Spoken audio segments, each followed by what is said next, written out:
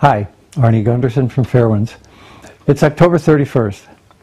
This is the video that contains scientific information that we've been wanting to share with you for a long time.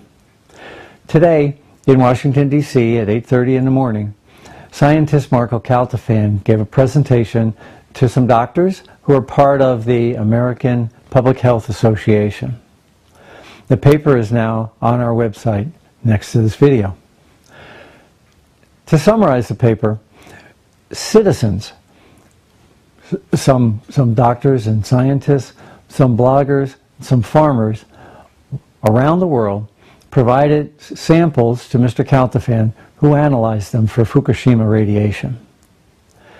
An example of what he found is a slide that contains air filters from cars in Japan and in the United States. Cars in the United States hardly have any radiation in their air filters. Cars in Tokyo had quite a lot, way too much. Cars in Fukushima prefecture were incredibly radioactive.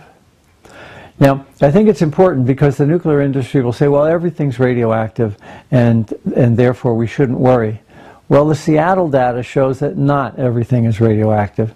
And it shows that the people in Japan received enormous exposures of particles into their lungs and into their digestive system um, during the course of the accident. Another piece of information is that Fairewinds viewers were able to send in children's shoes from Japan.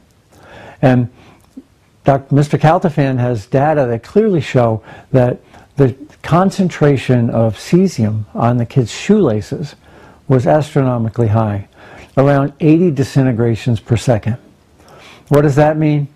Kids tie their shoes, their hands get radioactive, and it goes into their GI tract. If it's on the ground, it's in the dust in the playground and it's in their lungs. I think that between the two, the air filters and the children's shoes, it shows that there's a severe personal health problem in Japan that'll manifest itself in cancers over the next 10 or 20 years. Now, Mr. Kaltofen didn't just look at Japan. He set up monitoring stations in the United States as well. Two of the three monitoring stations in the United States did show hot particles in the air in April. Since then, there haven't been any hot particles, but in April, it's clear that at the worst of the accident, hot particles were wafted across the Pacific and deposited in Seattle and in Boston at least. There's also data that indicates contamination on the ground in the Cascades, which are mountain range right up against the Pacific Ocean. So I think we have two problems here. In Japan, there's a personal health issue.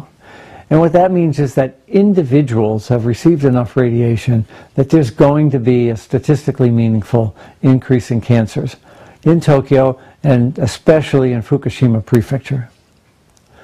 In the United States, it's a different story. It's a public health issue and not a personal health issue. What that means is that we'll never know who's the individual who got cancer from Fukushima, but we can be sure that the radiation did reach here and that there will be an increase in cancers, especially on the west coast, where the Rocky Mountains stopped most of the radiation and deposited it on the ground. So this paper was given to the American Public Health Association. And here, it's a public health issue. We can't run and we can't hide, but the radiation is, is up and down the west coast and then also scattered about the rest of the United States. Japan, it's a different story. They need to aggressively go after the contamination that's been discovered and so obvious on these air filters and on children's shoes. It takes a concerted national effort not a haphazard effort of chasing hotspots in order to reduce the amount of radioactivity that's on the soil and in the air in, in Japan right now. And the last thing the paper shows is that it's wrong to have a 10 mile evacuation planning zone. Clearly, the, the damage can extend out as far as Tokyo. We need to look at emergency planning and evacuations well beyond the 10 miles that the Nuclear Regulatory Commission uses here and the 12 miles that the Japanese used during the accident.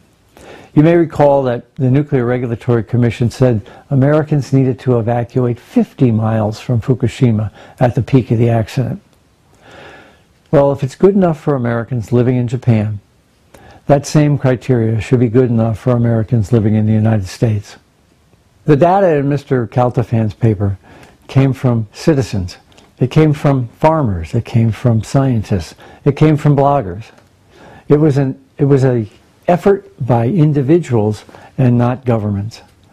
I think if we had relied on the government to get us this information, we never would have gotten it. So it's an important achievement for all of us to recognize that together, using the internet, we can all provide information for scientists to use to come to rational decisions on public policy. This November, we're asking for your support so we can continue our scientific analysis and these educational videos. There's a donate button on the Fairwind site, and we'd appreciate it if you considered a financial contribution.